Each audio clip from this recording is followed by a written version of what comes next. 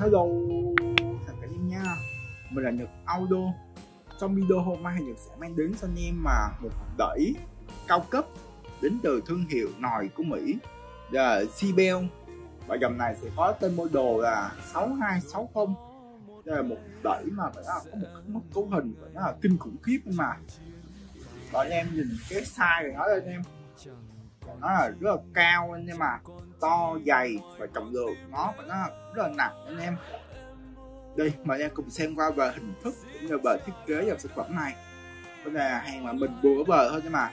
Về hình thức cũng còn rất là mới và keng nha anh em. Tầm khoảng là trên 90 phần trăm.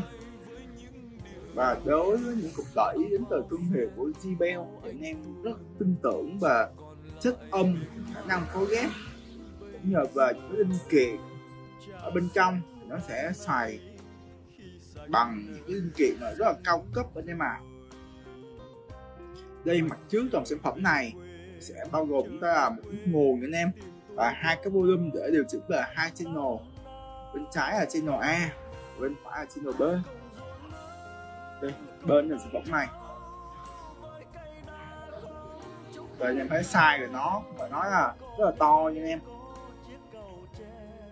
còn phía sau thì sản phẩm này sẽ trang bị ta. Đây, một cái nhôm tản nhiệt của nó là rất là bợt anh em ạ. Vì nơi này nó sẽ chứa sò ở bên trên. Nên nhà sản xuất phải trang bị ta một cái tản nhiệt đủ lớn để nó hoạt động bền bỉ nha anh em. Còn bên đây anh em sẽ thấy là cái cổng để mà anh em lấy tín hiệu nghe nhạc nha anh em đây, anh em thể mà chơi qua jack là Canon anh em chơi qua jack 6 ly đã bung sen. Còn anh em chơi cái đầu jack mà như là những cái dây loa nha anh em. Nói chung con này thì thoải mái để cho anh em có thể mà kết nối với nhiều thiết bị cùng lúc. Ví dụ như anh em có điện thoại, đồ đĩa CD còn anh em chơi qua máy vi tính.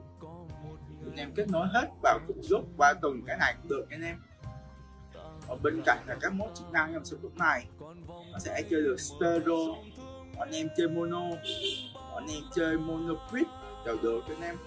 Rất là, rất là thoải mái nhưng mà. Ở bên đây thì sản phẩm này sẽ trang bị ta hệ thống là bốn cặp loa nha anh em. Anh em có thể mà xỏ dây nhưng mình sẽ cắm. Anh em chơi cái đồ bắp chuối được nha anh em. Con này nó sẽ có điện là 100V nha anh em còn bên đây nên sẽ thấy là về công suất của sản phẩm này. Con này thì nó sẽ có công suất ở mỗi channel cho anh em. Là 150W ở trở kháng là 8 ohm cho anh em. Và 300W ở trở kháng 4 ohm. Công suất vẫn nó là kinh khủng khiếp nhưng mà. Cái mức công suất này anh em rất là dễ dàng, thoải mái để phối ghép nếu mà anh em mà chơi những cặp loa khủng ra bát bánh bò, bánh bao. Và những cặp loa bốn tấc. Thì con này cũng đáp ứng được yêu cầu của anh em. Anh em chơi loa năm tấc, hoặc anh em chơi loa sub anh em hát karaoke cả ngày.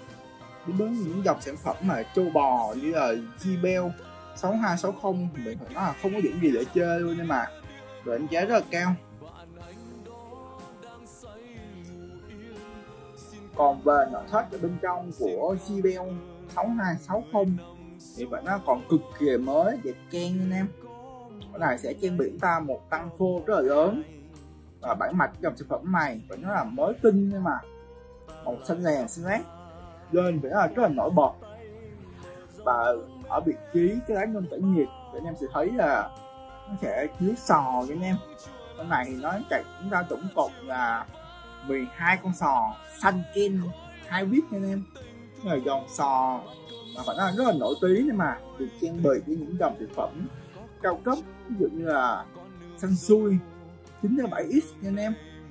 Dòng sò này cho ra mỗi chất âm và nó nghe rất là ngọt nhưng mà và đặc biệt là nó khi mà anh em bên cao trào, dòng sò này nó bung âm ra, nó là cực kỳ tốt mình đánh giá rất là cao dòng sò này và giá thì là cho anh em nó cực kỳ tốt. Cho con quái vật Sibel 6260 chỉ với 10 triệu 500 nghìn đồng. Nếu anh em muốn mua hãy liên hệ trực tiếp với mình qua số điện thoại. Hoặc cái zalo để được tư vấn và hỗ trợ nhiệt tình nhất. Và bây giờ mình sẽ vào ngay bài test thích âm. Mời anh em.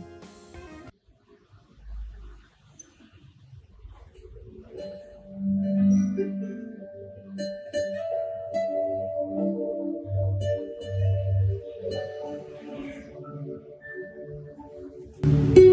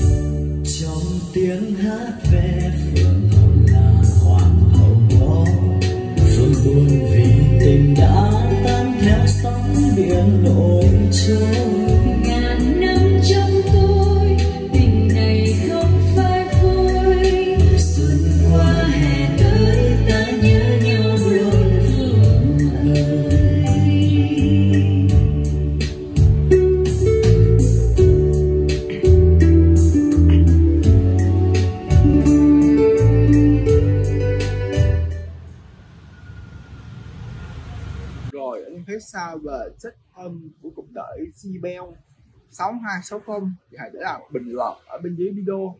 Cảm ơn em dành rất là nhiều thời gian để theo dõi video của Nhật Audio. Nếu anh em thấy video hữu ích, thì hãy đăng ký kênh để ủng hộ Nhật Audio nhé. Xin chào và hẹn em trong những video lần tới. Bye! Anh em có thể vào trang facebook.com sạc Nhật Audio để tìm thêm và nhiều sản phẩm mới nhất nhé.